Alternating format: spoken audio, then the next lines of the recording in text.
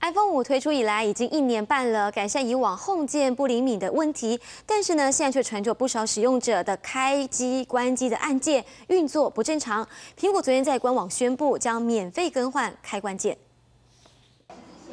苹果 iPhone 五手机由于有部分使用者反映开关键时好时坏，偶尔会有运作不正常的情况。苹果官网宣布将为消费者免费更换开关键，台湾的用户五月二号起就可以提供服务。手机通讯行说，iPhone 五手机遇到这种问题的用户其实也并不多。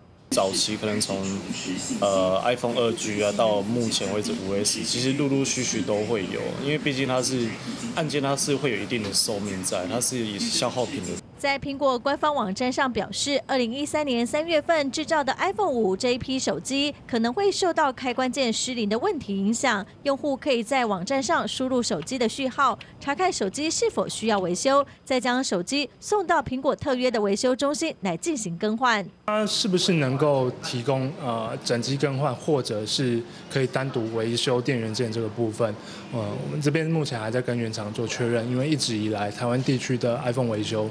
是没有办法单独更换电源键的。官网上也表示，如果消费者之前已经付费更换过此零件，也确定是因为产品的问题所导致，也可以安排退费。记者陈淑君您之间台北报道。